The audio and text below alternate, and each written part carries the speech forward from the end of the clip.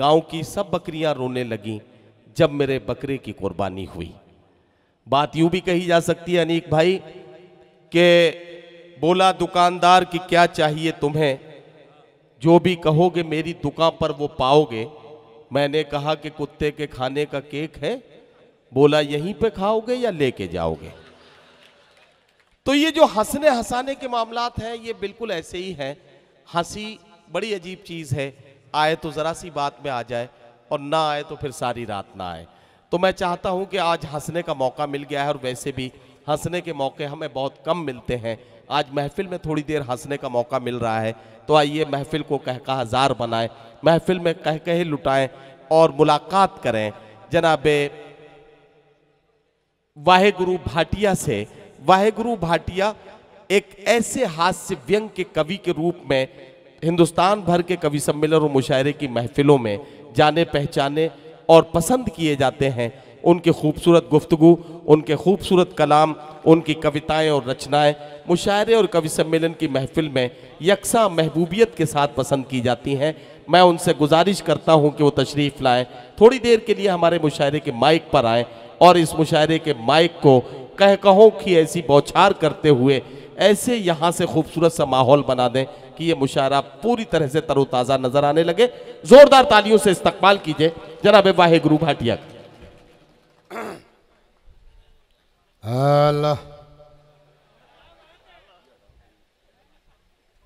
प्रणाम करता हूँ साहब। इसको खोल बेटा, मेरी कम है। हेलो। सबसे पहले बढ़ने रखे शहन साहब, हिंदुस्तान के मालिक कमली वाले बाबा आपके चरणों में प्रणाम करता हूँ। फिर मैं सारी जनता को प्रणाम करता हूँ। आप जाना मत भाईजान, लिफाफा आपके पास फंसा हुआ है मेरा। नज़र रहती भैया, अपन बड़ा खतरनाक आदमी है। बधाई देता हूँ साहब, दरगाह कमेटी के पूरे सदस्यों को। देखो, मेरे को उर्दू नहीं आती साहब। मेरे को उर्दू नहीं आती, मेरे को शायरी करना नहीं आता। मैं अच्छा श्रोता हूँ, शायर तो ये लोग बैठे हैं साहब। इनके लिए एक बार ज़ोरदार ताली बजा दो तो मुझे लगे कि मैं अपना काम शुरू करूँ। बेटा, तू मत साउंड को, तेरे को भगवान की कसम है, बहुत अच्छा लगा। आई लव यू यार। अब तू मत आई लव तेरे मोहब्बत हो गई यार, उसको मत छेड़। बहुत बढ़िया, क्यों प्राण पी रहा तू मत छेड़ उसको। मैं गला फाड़ फाड़ के नहीं चल रहा मैं अपने काम को अंजाम दूँगा। विधायक साहब बैठे तो बैठे तो बैठे साहब, तुमको क्या तकलीफ़? बैठे तो अच्छा लग रहा है तो। आज क्या हुआ साहब? आपको एक बात बता दूँ, जिला छिंदवाड़ा, जहाँ पर मेरा जन्म हुआ लाफ्टर हुआ जब से लाफ्टर चालू हुआ तो हज़रत सरकार कमली वाले बाबा मेरे छिंदवाड़ा ज़िले में भी हैं। जहाँ जहाँ कमली वाले बाबा सरकार की दरगाह शरीफ है ना, वहाँ आज तक सांप्रदायिक झगड़े नहीं हुए हैं। मैं गवाह हूँ साहब, छिंदवाड़ा से आया हूँ मैं। मैं बहुत बड़ी बात कह रहा हूँ, और सच है और आज मोहब्बत तो देखो, साहब, मैं अपनी औकात में मेरा मूड बना देना। देखो एक सरदार दस साल बोला नहीं है, दिल्ली गवाह है।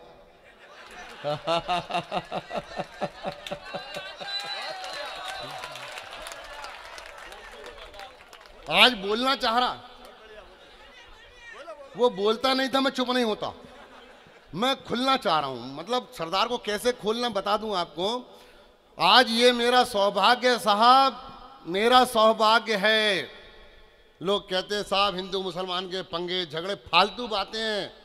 झगड़े तो वो करते हैं जिनके माँ बाप की सनत नहीं है। साहब, हम तो मोहब्बत में जीने वाले हैं, खानदानी लोग बैठे हैं। क्या बात करेंगे हमसे?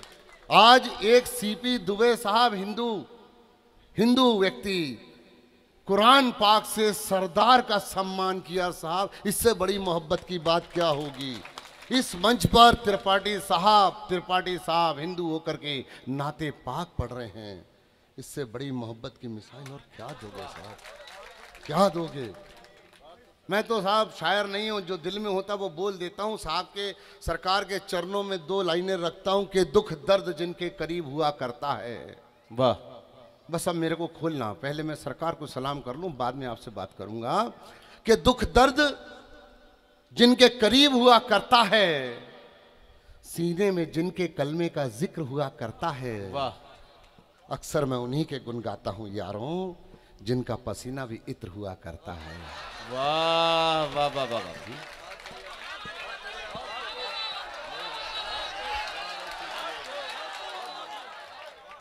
दुख दर्द जिनके करीब हुआ करता है सीने में जिनके कलमे का ज़िक्र हुआ करता है अक्सर मैं उन्हीं के गुन गाता हूँ यारों जिनका पसीना भी इत्र हुआ करता है। और दो लाइनें देता हूँ फिर मैं अपनी औकात में आता हूँ साहब। जी।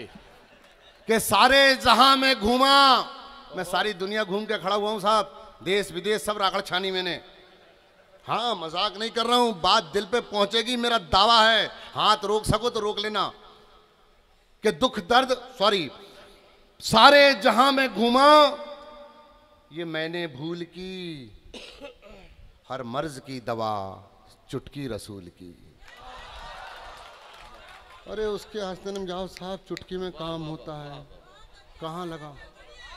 शुक्रिया आपका मेरी माँ का आशीर्वाद मिल गया। मुझे बस मैं बस बस। अब मैं अपनी औकात में आता हूँ भाई जान।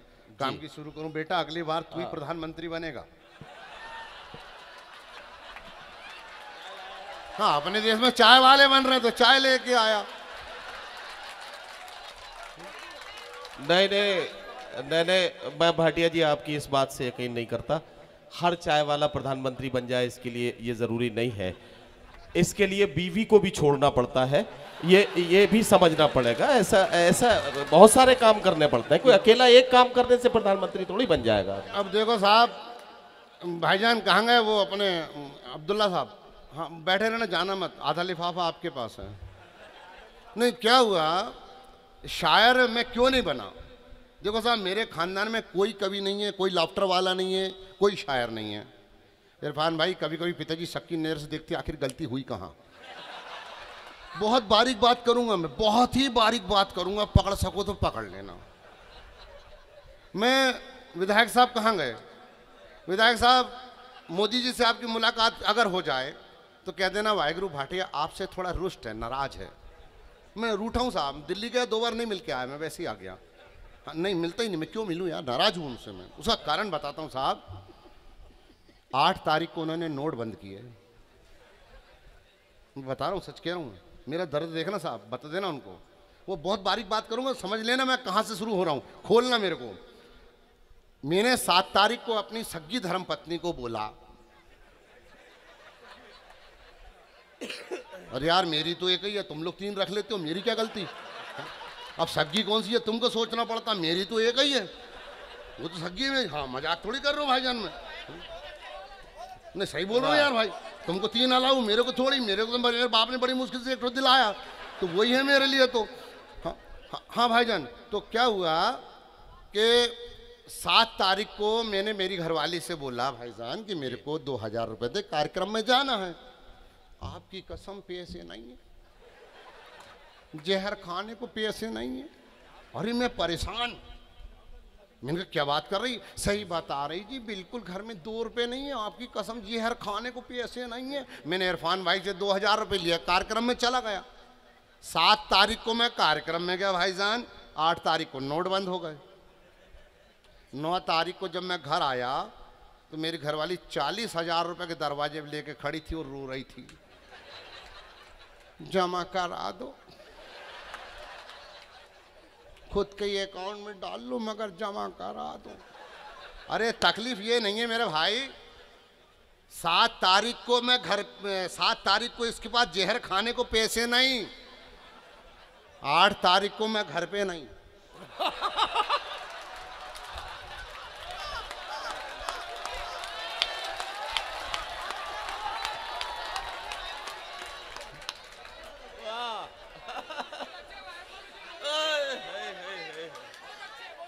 हाँ यार अनिक भाई आप तो शुद्ध अनिक का घी हो। वो मंत्री जी दिया लगा रहे साहब उनसे अंगारी नहीं जल रही हो कौन अरे मैंने कहा कैसा नेता यार आग लगाने नहीं आता इसको। हम मज़ाक नहीं कर रहा विधायक साहब सच कह रहा हूँ। वो आ, यहाँ की तो खैर पुलिस की बात क्या बताऊँ साहब हमारे यहाँ तो भगवान कसम वो शिवराज सिंह चौहान साहब ने सौ नंबर गाड़ी का नंबर सौ दे दिया। मध्य प्रदेश में सौ नंबर डायल करो पुलिस आ जाती है। और सौ का दो तो वापस चली जाती है। हाँ वहाँ होता है यहाँ नहीं होता वहाँ होता है यहाँ का मालूम नहीं साहब यहाँ क्या होता है अपने को नहीं मालूम। बोले हमारे यहाँ होता है साहब। देश के पहले प्रधान देखो साहब अब मैं खोल रहा हूँ। हाँ बैठो बैठो टीआई साहब को बिठा लो। बिल्कुल हाँ बैठ जाइए सर रिक्वेस्ट है आपसे बैठ जाओ। आपके बारे में कुछ नहीं कहा था नहीं मैं तो बोल भी नहीं मेरी हिम्मत कहाँ साहब। इरफान भाई आप तो उनकी गोद में बैठ जाओ। आपका पेट देख के टीआई साहब एक बात याद आ गई कसम भगवान की अगर आप इजाज़त दो तो।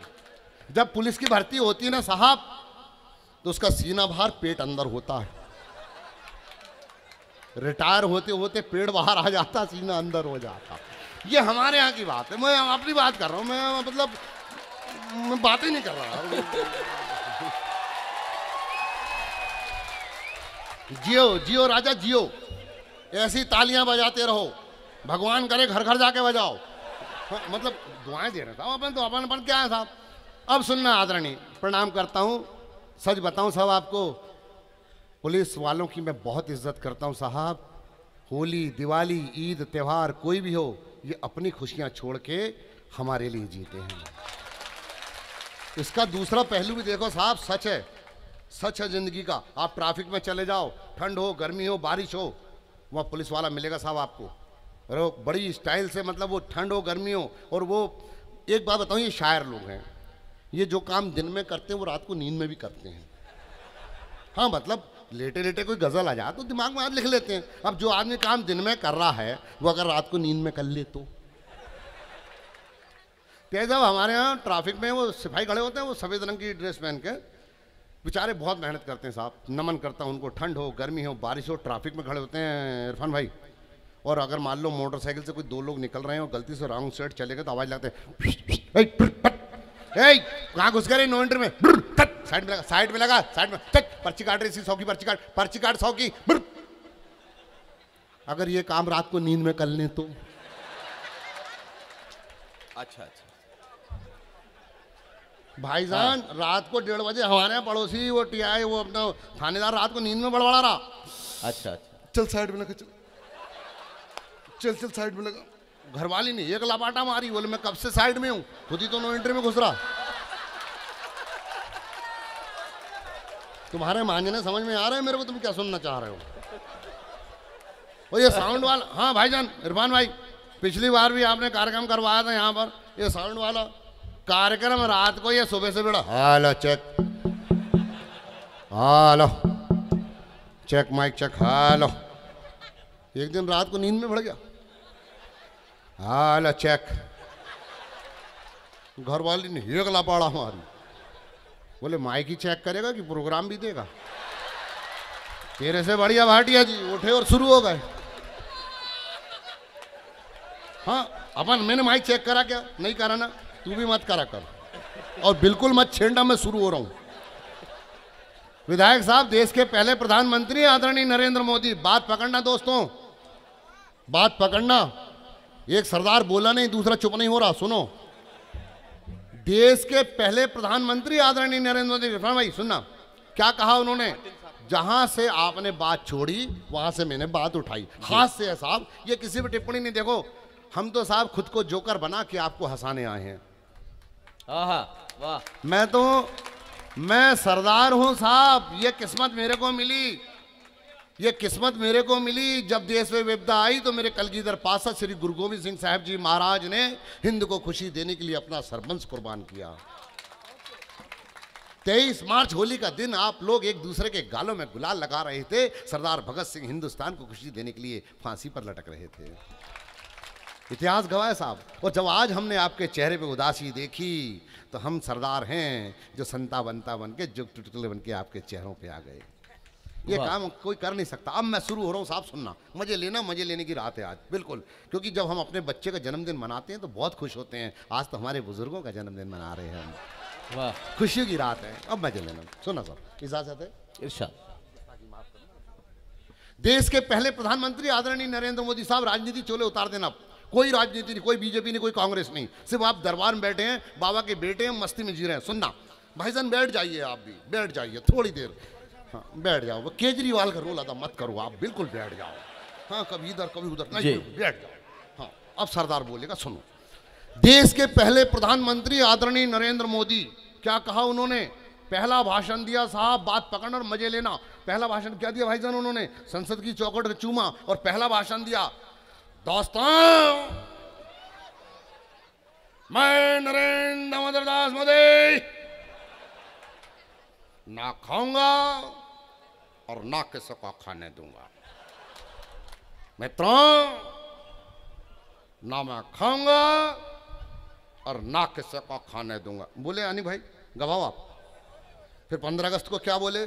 घर घर शौचालय बनवाओ।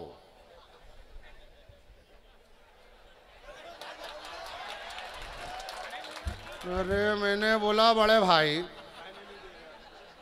जब आप लोग खुद खाओगे।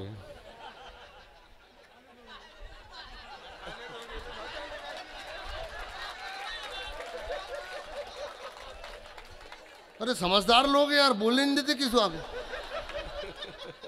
हाँ भाई जानी हुआ। तो इतना अपन करोड़ों रुपए क्यों बर्बाद कर रहे अब मेरे को खोलना मैं कार्यक्रम की शुरुआत करता हूँ, साहब, कि जग को हंसाएँगे हंसाने वाले। हाँ हाँ। बात का बथंगड़ बना लेते हैं जमाने वाले।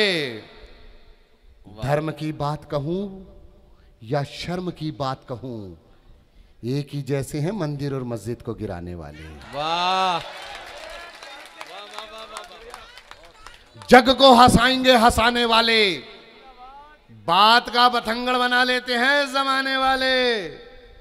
धर्म की बात कहूँ या शर्म की बात कहूँ एक ही जैसे हैं मंदिर और मस्जिद को गिराने वाले।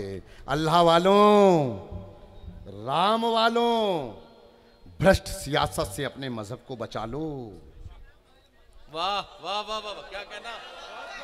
क्या कहना भाटिया जी? वाह वाह वाह। अल्लाह वालों राम वालों भ्रष्ट सियासत से अपने मज़हब को बचा लो।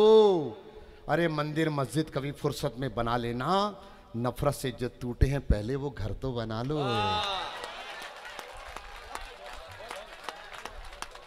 हाँ पिछले साल साहब एक, चार पाँच सालों से ना मेरे मित्र आ रहे थे कपिल जैन।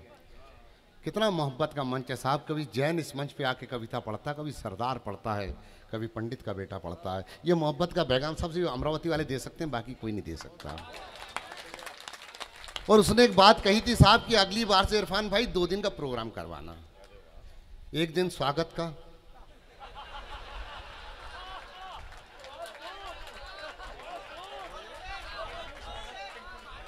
और दूसरे दिन समय बचा तो कार्यक्रम।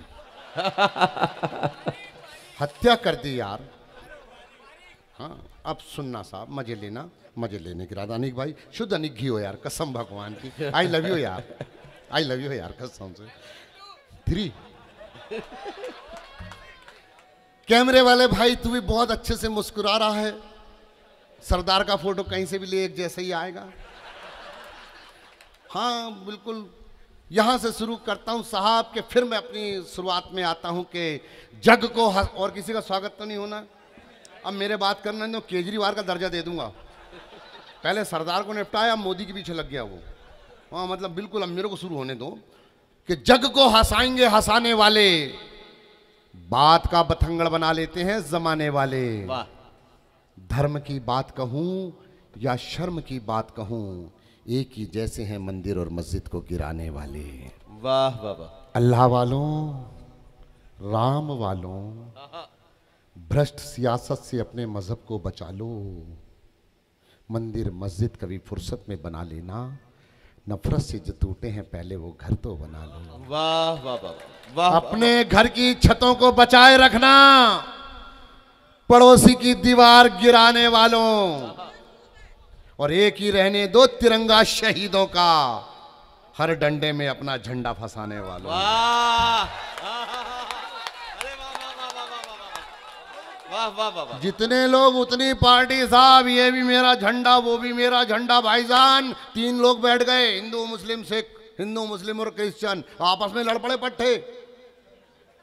वो मुस्लिम बोले, साहब, तिरंगा मेरा, हिंदू बोले, मेरा, वो क्रिश्चियन बोले, मेरा, इरफान भाई साथ में गुजर रहा था, इरफान भाई की सभी इज़्ज़त करते हैं। बोले, क्या हो रहा है? लड़ रहे तुम लोग? और मैं छुप के देख रहा हूँ स्टाइल से उनको हाँ अब अब मैं झाँक रहा हूँ, भाईजान। उस दिन का किस्सा बता रहा हूँ, जब आप थे साथ में ऐसा मैं देख रहा हूँ तो अनिक भाई के साथ में चले गए अंदर। इन्हें काय के लिए लड़ रहे काय के लड़ रहे रसूल क्यों लड़ रहा तू काय लड़ रहा बोले बोले, भाईजान अपनी लड़ाई तो होगी वो। अपना तिरंगा है वो। तिरंगा तेरा कैसे बोले बोले, साहब, इसमें हरा रंग हमारा। इसलिए तिरंगा हमारा। वो चार छह बजरंग दल वाले खड़े हो गए विधायक साहब। बोलो, अल्लाह ने बोले, इसमें केसरी रंग हमारा। इसलिए तिरंगा हमारा। वो एक अजोर टांडरा खड़ा हो गया। क्रिश्चियन। वो बोले, साहब नहीं नहीं, बोले, इसमें सफ़ेद रंग हमारा, इसलिए हमारा तिरंगा हमारा। और मैं देख रहा था झाँक के। उनकी नज़र मेरे पड़ी। बोले, सरदार जी, तिरंगा तीनों का है, तुम्हारा इसमें क्या है? मैंने कहा, झंडे में डंडा क्या तुम्हारे बाप का है? वाह वाह वाह। बगैर डंडे के झंडा लगा के बताओ। इससे एक बात तो जाती है इरफान भाईजान एक बात तो जाती है हम जब तक चारों एक नहीं होंगे मेरे हिंदुस्तान का तिरंगा शर्मसार होता रहेगा। वाह वाह वाह। मेरे को शायरी नहीं आती साहब। शायर तो ये लोग बैठे हैं। मज़ाक नहीं कर रहा हूँ। अच्छा शायर बनना इरफान भाई, बच्चों का खेल नहीं है। मज़ाक नहीं कर रहा हूँ। खेल थोड़ी है यार। पहले इनको क्या करना पड़ता है शायरी लिखने के लिए? पड़ोसन को पटाओ उसे इश्क करो। हाँ घर में कौन कर रहा? अड़ोस पड़ोस में इश्क करो। फिर उससे बड़ी वफादारी निभाओ। तो उस पर शायरी लिखती, तेरी जुल्फें काली घटा जैसी, तेरी आँखें उबले अंडे जैसी, तेरे दांत पतासे जैसे। मतलब उसी मोहब्बत में लिखना पड़ता। फिर उसके घर वाले को पता लगता, वो कूटता है। तो फिर ये लिखते हैं उसके गम में। हाँ इश्क में हम तुझे क्या बताएँ? किस कदर चोट खाए हैं? तेरे भैया ने कूटा हमको, तेरे पति के सताए हैं। अपन काय को इतनी मगजमारी करें। और अपने से नहीं होता, ये लबड़बाजी कौन बेटे यार? अपना काम तो बढ़िया है, अपन तो मस्त लोगों को हंसाने का काम करते हैं। मैं यहीं से शुरू होता हूँ कि वो आतंकवादी आ गए भाईजान कुछ जबलपुर गन फैक्ट्री में बात पकड़ना है दोस्तों, आपके लिए आया हूँ, देखो। जबलपुर गन फैक्ट्री में भाईजान कुछ आतंकवादी आ गए। वो बोले दो ट्रक बम पैक कर देखना विधायक साहब? अकल के, नकल के लिए भी अकल होना। अब आतंकवादियों का काम क्या है साहब? अकल तो है नहीं। बेवकूफ़ों को अकल होती कि इस्लाम क्या है तो क्या वो आतंकवादी बनते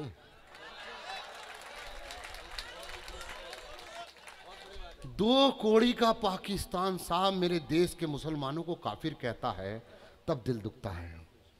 क्या जानता है वो इनके बारे में? ये सजदे में चले जाते तो रसूल से जुड़ जाते हैं साहब। इनको काफिर कह रहा है। वो कहाँ की बात कर रहा है साहब? सच कह रहा हूँ साहब, ये अगर बदुआएँ दे दे तो वैसे ही मर जाए। हाँ मज़ाक नहीं कर रहा हूँ भाईजान मैं। इनकी दुआओं में तासीर है साहब। क्या बात करते हो? अच्छा एक बात बताओ। मेरा हिंदुस्तान कितना महान है साहब। ख्वाजा गरीब नवाज़ मोइनुद्दीन चिश्तिया यहाँ निवास करते हैं। कमली वाले बाबा यहाँ निवास करते हैं। ये पाकिस्तान क्यों नहीं गए? उन्हें पता था कि हिंदुस्तान, हम हैं तो हिंदुस्तान में मोहब्बत है। अल्लाह वाले हैं बाजी हम, अल्लाह वाले हैं। इसलिए इतनी बड़ी बात कह रहे हैं। वो आतंकवादी आ गए साहब, बात पकड़ना, मज़े लेना। आतंकवादी आ गए बाजी वो वो बोले कि अब दो ट्रक बम बक करवाए। पूरा अमरावती उड़ाना है। अमरावती उनके बाप से ना उड़े। हाँ जहाँ कमली वाले सरकार हो, वहाँ कौन आ सकता किसी की औकात है क्या आने की? वो नहीं नहीं बोले आतंक वो बम, जो दो ट्रक बम पैक करो, वो बढ़ने रहा और आतंक, वो पूरा उड़ाना अमरावती। बम पैक होगा साहब। अब बम पैक होगा तो फोड़े कैसे? उनके बाप को नहीं मालूम। फोड़ना कैसे? तो आतंकवादियों ने पूछा गन फैक्ट्री के मालिक से। उन्होंने बोला, कुछ नहीं साहब, ये बम है। पिन खींचना। एक, दो, तीन, चार, पाँच। छः सात, आठ, नौ, दस, बम। भाईजान, बम तो लेके आ गए। वो पोखर नहीं निकले, वो नागपुर नहीं निकले, उनके आतंकवादी खुद ही मरने लगे। फिर वापस गए जबलपुर गन फैक्ट्री दो लापाड़े मारे उसके मालिक को। बोले, कैसे बम दिया यार तूने? बोले, क्यों? हमारे आदमी मर रहे हैं यार। बोले, तुम्हारे आदमी कैसे मर रहे हैं? देखना कमली वाले बाबा का चमत्कार, अकल कैसी फेरी उनकी। तुम्हारे आदमी कैसे मर रहे हैं? बोले, तेरे बम से। बोले, मेरे बम से कैसे मर रहे हैं? यार, तू फोड़ कैसे रहा? जैसे तूने बताया, बोले, एक फोड़ के बता। उनने बम उठाया। देखना डी साहब, उनने बम उठाया, पेन खींचा। अब पेन खींचे, उंगली में गिनना था। एक, दो, तीन, चार, पाँच छ सात, आठ, नौ, दस, बम! फोड़ बेटा।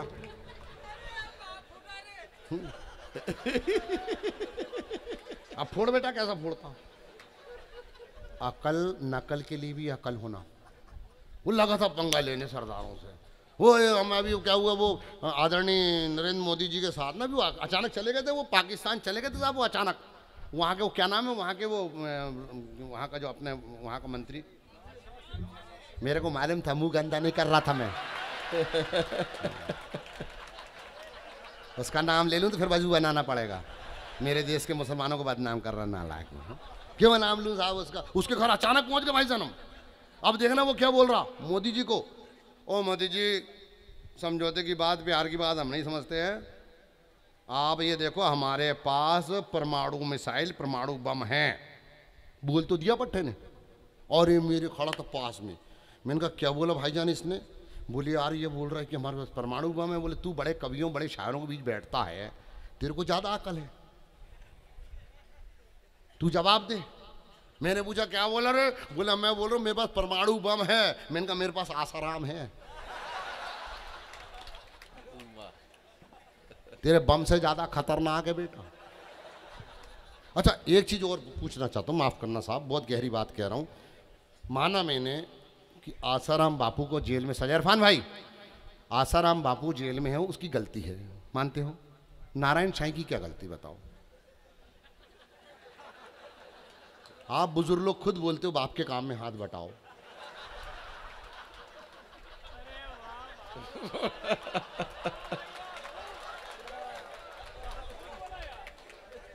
तो यार ये बात गलत है ना, जो फिर उसकी क्या गलती? चलिए समय की सीमा है, मंच पर बड़े कवि हैं साहब, मैं फिर ठहाके लगवाऊँगा आपसे। मैं कुछ हाँ जी भाईजान, कुछ कुछ चीज़ें मैं सुनाना चाहता हूँ, कुछ, क्योंकि बड़ा मंच है साहब, मर्यादा का मंच है। मैं कुछ बातें आपके बीच, मर्यादा के बीच रखना चाहता हूँ। बहुत कुछ सुनाऊँगा, सीपी भाई साहब, मैं सरदार हूँ साहब, देखो, मैं कहाँ से शुरू होऊँगा मुझे भी नहीं मालूम। हाँ एक कार्यक्रम शुरू हुआ था साहब बेटी बचाओ अभियान। अब मैं थोड़ा सा इस तरफ़ आता हूँ। फिर मैं ठाके लगवाऊँगा ठाके लगवाना तो मैं देखो मैं पैदा ही मज़ाक मज़ाक में हूँ यार। मैं हाँ, क्योंकि जब मैं पैदा हुआ तो मेरे पिताजी ने माँ से कहा था ये क्या मज़ाक है यार? तो अपन मज़ाक वाले आदमी हैं। हाँ विधायक साहब सच कह रहा हूँ मैं बिल्कुल मजाकिया मूड का आदमी हूँ मैं किसी के मैयत में नहीं जाता। हाँ अनिक भाई सच कह रहा हूँ मैं। हाँ वो तो आपको आ ही गया होगा। एक छोटी सी बात करके साफ़ फिर ठाके लगवाता हूँ क्योंकि इस महफिल में हमारी बेटियाँ भी बैठी हैं कहीं मैंने देखा था हमारी बच्चियाँ हमारी बेटियाँ हमारी बहनें बैठी हैं तो मैं उन तक बात पहुंचाता हूँ क्योंकि हम उस कौम के लोग हैं साहब उस मज़हब के लोग हैं उस धर्म के लोग हैं कि अगर हम बिटिया को गुड़िया भी लेके देते हैं तो साथ में दुपट्टा लेके देते हैं। आहा वाह वाह वाह वाह भाई क्या कह रहा भाटिया जी? वाह वाह। वाह वाह वाह वाह। वाह वाह वाह हम तो उस मज़हब के लोग हैं साहब। दिल्ली में कांड हुआ साहब दामनी वाला कांड। मासूम बिटिया की इज़्ज़त के साथ चार दरिंदों ने गलत किया। मैं शब्दों को ढाक के बात करता हूँ साहब। सुनना। और मेरा दावा है तालियाँ रोक सको तो रोक लेना।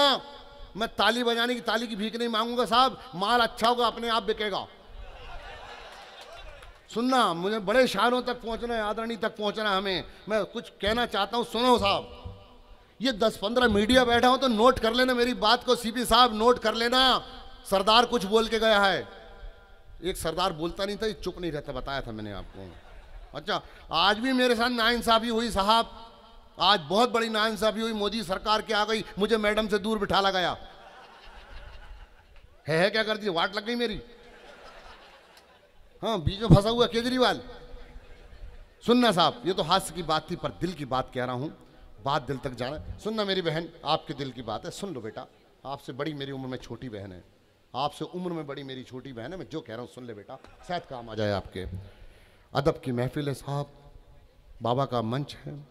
जहाँ पर नाते पाक की बात होती है साहब, जहाँ पर कुरान पाक की बात होती है, भाईजान, कुराक पार्क के अंदर मेरी अम्मी हाफिज कुरान है, आपको मैं एक बात बतला दूँ। छः हज़ार छः सौ छसठ आयते हैं कुरान पाक के अंदर। ये सरदार को मालूम है, शायद इन लोगों से किसी बहुत कम लोगों को मालूम होगा इस बात का। सच है, मेरी माँ को मैंने कहा, माँ, मेरे गले में नक्श डाल दे। तो मेरी माँ ने मुझे क्या कहा था? बेटा, कल्ब में कलमा उतार ले, खुद नक्श बन जाएगा। मैं उस खानदान का बच्चा हूँ, साहब। हंसाने का मौका मिला तो हंसा रहा हूँ। बाकी दिल की बात कहता हूँ, सुनो। सुनिए भाई साहब, आशीर्वाद देना। एक बेटी की इज़्ज़त लूटी गई साहब, किसी ने दामनी कहा, किसी ने निर्भया कहा। सुनना मेरे भाइयों, तुम्हारे काम की चीज़ कर रहा हूँ मैं बोल रहा हूँ। क्यों लुट रही हैं साहब? दस बारह सालों से हमारी बहन बेटियों की इज्जतें इज़्ज़त मेरी माँ की क्यों नहीं लुटी साहब? मेरी बुआ, मेरी ताई, मेरी चाची, मेरी मौसी, मेरी माँ, इनकी इज़्ज़त क्यों नहीं लुटी यार? क्या ये खूबसूरत नहीं थी? इतिहास गवाह है साहब, आज खूबसूरती कोई मायने नहीं रखती। खूबसूरती तो पहले हुआ करती थी। लड़की आईना देख ले तो आईना टूट जाता था। खिलजी ने देखा था पानी में चेहरा, इतना खूबसूरत चेहरा। डगमगा गया था। पहले खूबसूरती होती थी साहब, आज खूबसूरती कोई मायने नहीं रखती। ये बलात्कार, ये इज्जतें क्यों लूटी जा रही हैं? मैं बताता हूँ साहब, पत्रकार बंधु, नोट कर लेना। हम मर्यादा छोड़ चुके हैं। पहले बूढ़े खासते थे तो बहुएँ अंदर हो जाती थी। आज बहुएँ खासती हैं तो बूढ़े बाहर हो जाते हैं। कहाँ से शुरू करें साहब मर्यादा की बात? चार लाइनें देता हूँ दोस्तों, रोक सको, तालियाँ तो रोक लेना। सलवार सूट पंजाबी और इस्लाम में पहना जाता है। हाँ सच है ये। आप सिंधी परिवार को देख लो जो सिंध से आए हैं, बेचारे अपना अपना सब कुछ छोड़ के, बहुत बड़ी कुर्बानी दी सिंधियों ने भी। अरे, हम तो वतन के लिए मर रहे वो वतन छोड़ के हमारे लिए आ गए, सिंध से आए जो। सुनना साहब, क्या मर्यादा है साहब? सलवार सूट पहनो बेटियों। तुम्हारे काम की चीज़ें हैं। चार लाइनें देता हूँ, रोक सको तो रोक लेना और सीपी भाई नोट कर लेना कि बेशक, और मैं पहली बार पढ़ रहा हूँ इस मंच पे आपके सामने, सवार देना साहब अगले मंच पे ढंग से पढ़ सकूँ। मैं शायर नहीं हूँ साहब, लिखना नहीं आता। आप लोग सवार देना, मंच पे अच्छे से पढ़ सकूँगा। कि बेशक उन दरिंदों को सूली पर चढ़ा दो। बेशक उन दरिंदों को सूली पर चढ़ा दो, काला पानी पहुँचा दो, फांसी पर लटका दो उन दरिंदों से हमें कोई सरोकार नहीं। पर जीन्स और टॉप पहन के क्लब और पफों में भी जाना ये मेरे देश का संस्कार नहीं। ये मेरे देश का संस्कार नहीं। ये मेरे देश का संस्कार नहीं। ये मेरे देश का संस्कार नहीं। साहब शिवराज सिंह चौहान साहब ने एक बात चलाई मध्य प्रदेश के अंदर बेटी बचाओ। जी। अरे क्यों बचाओ यार? हम बेटे क्या नर्मदा जी की बाढ़ में बह के आए बात पकड़ना। कहते साहब, बेटी बचाओ बेटी बचाओ बेटी बचाओ। अरे मैंने कहा कोई ज़रूरत नहीं बेटी को बचाने की। अब रोक सको, तालियाँ तो रोक लेना। अरे, बचाना है तो अपने बेटों को बचाओ। बेटों को बचाओ, इरफान भाई, बेटों को। बेटों को बचाओ उनके बुरे कर्मों से, बुरी सोच से, बुरे ख्याल से, बुरे हालात से, बुरी संगत से। अरे, जिस दिन बेटे बच गए, हमारी बेटियाँ अपने आप बच जाएँगी। कहाँ लगा रहे हो साहब, बेटी बचाओ? अब खुलता हूँ साहब मैं। अब खुल रहा हूँ धीरे धीरे खोल लो। हाँ, अब सुनना साहब चार लाइनें और देता हूँ फिर उसके बाद मैं अपनी जगह लेता हूँ।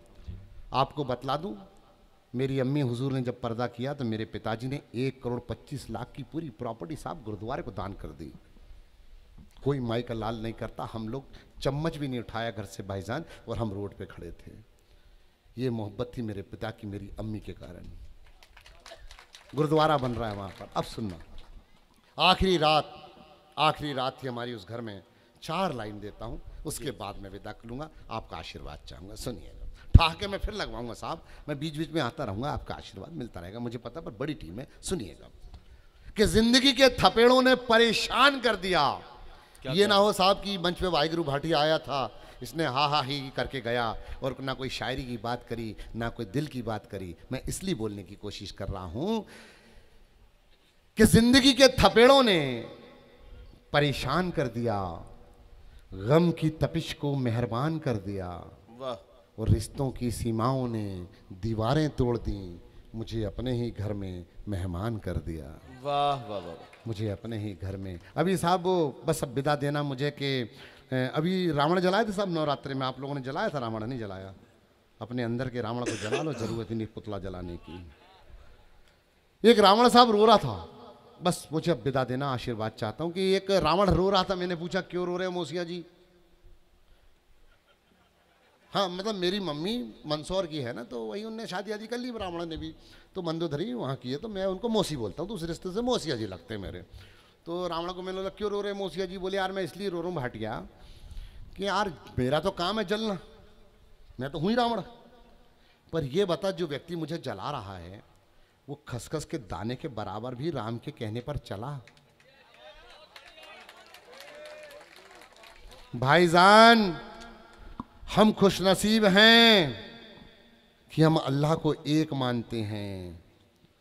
और बदनसीबी ये है कि हम अल्लाह की एक नहीं मानते हैं।